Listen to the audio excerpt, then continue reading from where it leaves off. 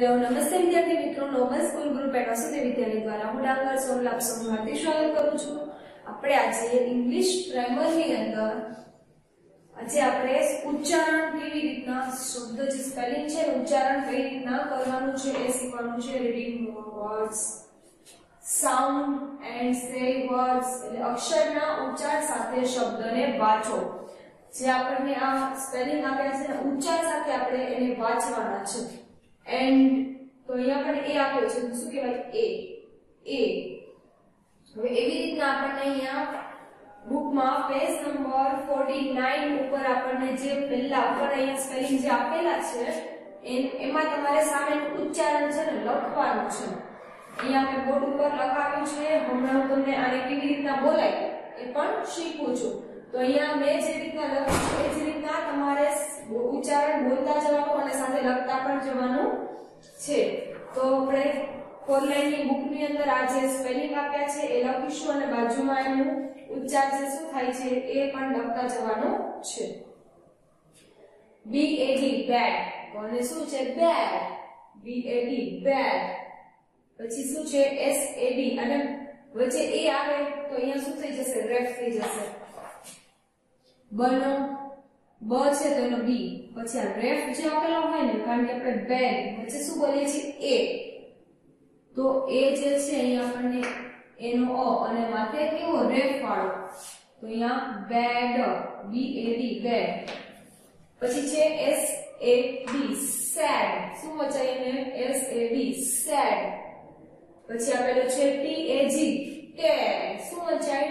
Tag પછી Y એ એમ યામ Y એ એમ યામ પછી છે ટી એ એન ટેન પછી આપેલું છે R A P rap H U T hut D A D dad B A G bag W A G wag પછી બી એ એન બેન વી એ એન વેન પછી છે એસ એ પી સેપ પછી એમ AP map આ રીતના આપણે સ્પેલિંગના ઉચ્ચારણ સાથે બોલતા જવાના છે.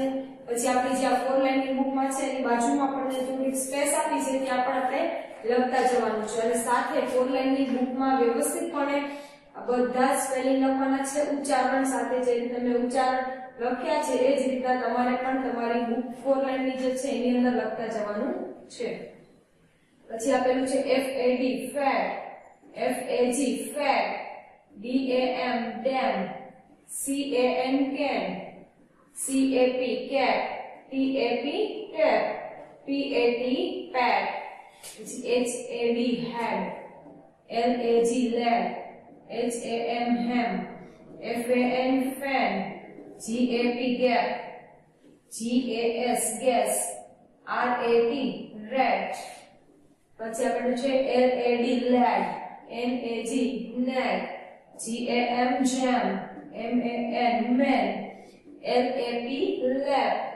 B A T bat, S A T set, M A D mad, R A G rag, R A M ram, P A N pen, M A P man, C A T cat, T A X tax, P A D pad. S A G sad S A M sam R A N ran N A P nap F A T fat W A X wax તો આ રીતના એનું ઉચ્ચારણ થાય છે. આપણે કેવી રીતના બોલું છું એ તમારે સમજી વિચારી અને બોલવાનું અને સાથે આને બુકમાં પણ લખતા જવાનું. C A N can F A N fan M A N man J A M જેમ આર એ એમ રેમ આ રીતના આપણે બોલતું જવાનું છે રેમ. રેમ. તમે બોલશો ને એટલે તમને ઉચ્ચારણ કેવી રીતના થાય છે એ તમને આઈડિયા આવશે. એટલે ઘરે આવા જે સ્પેલિંગ છે, એના ઉચ્ચારણ બોલવાનો પ્રયત્ન કરો. આપણને અહીંયા ચોખ્ખા શબ્દોમાં કીધું છે, અક્ષરના ઉચ્ચારણ સાથે શબ્દો વાંચો. તો આપણે એના ઉચ્ચારણ સાથે જે સ્પેલિંગ છે એના ઉચ્ચારણ સાથે એને વાંચતા જવાનું છે અને એને લખીને રાખો. જેથી તમને ન સમજાય તો લખેલું હોય તો વાંચી શકાય અને પરિવાર અને ઉચ્ચારણ પણ કરી શકાય. તો બધાએ પોતાની ફોર લાઈનની બુકની અંદર લખવાનું રહેશે. આના પછીના નેક્સ્ટ લેક્ચરમાં આપણે બધા ફરીવાર મળીશું. Thank you